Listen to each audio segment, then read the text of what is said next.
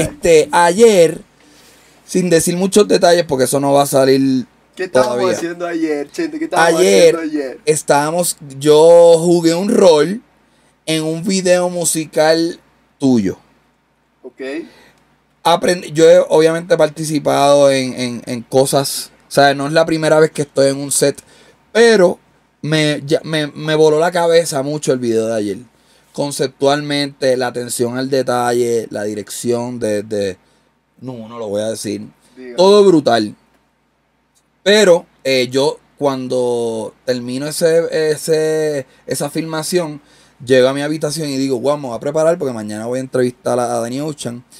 Y, y me pongo a hacer la búsqueda y me di cuenta que tú grabaste. O sea, porque como eh, todo esto parte de, de todo el trabajo que hicimos ayer.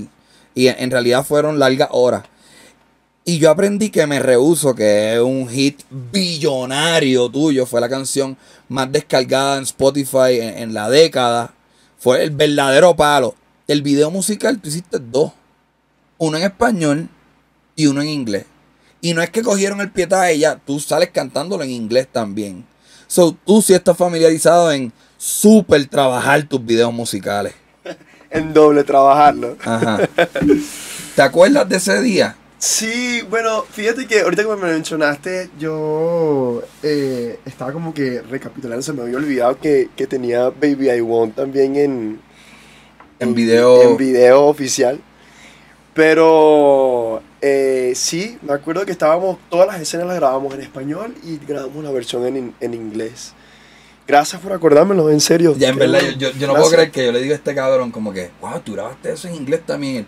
No estoy seguro. Y yo, vete pa'l carajo. es que hacen un montón de tenía cosas. tiempo, papi, tenía tiempo que no lo veía. es como ¿Cuál, que- cuál es la historia de Me Rehuso?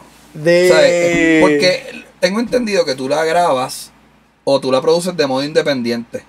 Sí, sí, sí. So, ¿Qué más escuchaste? ¿Qué más escuchaste? so- digo, hay bochinches. Y, y- y me puedo adentrar en tu niñez bastante full, pero creo que un punto de partida interesante es este palo, porque mucha gente que, que tienen deseos de adentrarse en el negocio del entretenimiento, en el mundo musical, piensan que de las cosas más importantes es tener el vaqueo de un productor musical, tener los micrófonos caros, tener el verdadero conocimiento. Y no, tú hiciste esa canción tú, ¿verdad? En mi casa, En tu casa. en mi cuarto. Es más, me rehuso una maqueta. ¿Quieres que te sea honesto? Me rehuso una maqueta master- masterizada. Explica lo que es una maqueta. Una maqueta es un demo. La Un- referencia. La referencia. Era la referencia este, masterizada. Intentamos grabar, intenté grabar las voces varias veces, me acuerdo, y no salía como el demo, ¿no? Y nada, decidimos masterizarla y, y la saqué